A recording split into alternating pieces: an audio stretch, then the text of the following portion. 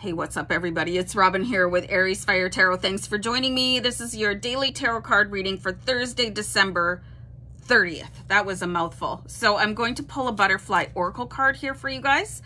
Um, I did get another oracle card deck to replace this one. It's going to be a surprise. So I'll let you guys know. Um, maybe have about 10 cards left on that one. So I'm going to pull a card here for you guys seeking and finding, okay? Seeking and finding. So let me see if I can seek and find the page. Ooh, how's that for wit? Hey, I'm on fire. I'm here all night.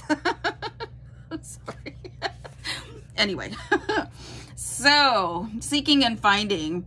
Like a butterfly flying from flower to flower, you are searching for what's next. It's upside down. All right. No, it's not.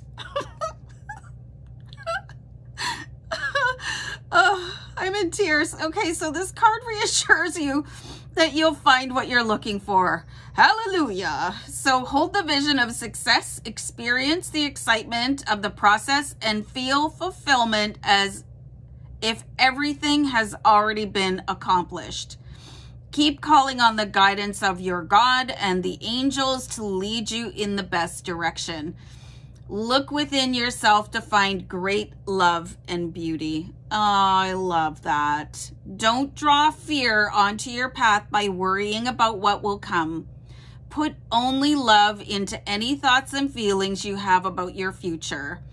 Trust that everything is rightly yours, that is rightly yours, already belongs to you spiritually.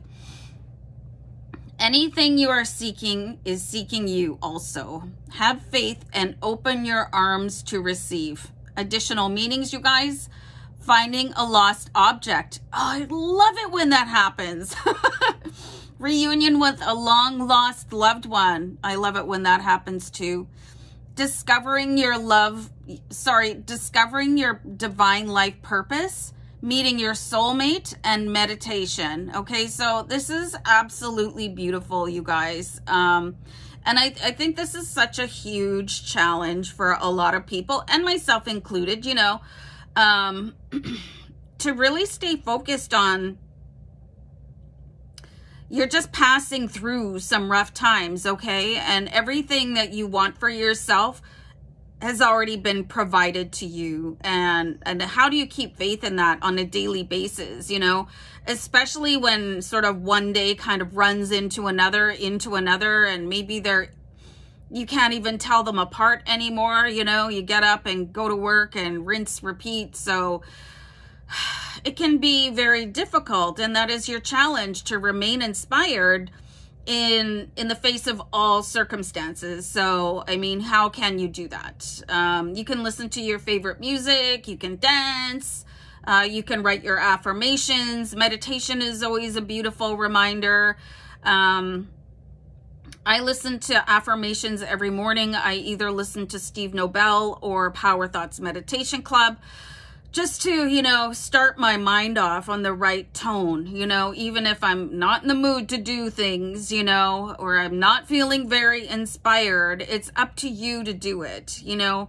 It's great to be inspired by other people, but you, have to be the one to pick yourself up and remind yourself of all of these beautiful things here, you know don't draw fear on your own path about worrying about what will come. Okay. So this is where you got to dig deep into yourself and, and remind yourself that you are a co-creator. You know, you are the magician in your own life and you have to be your own cheerleading squad you know, other people can help you to a certain extent, but it's really at the end of the day up to you to get up and make it happen. So, guys, make it happen. All right. So, I'm going to go.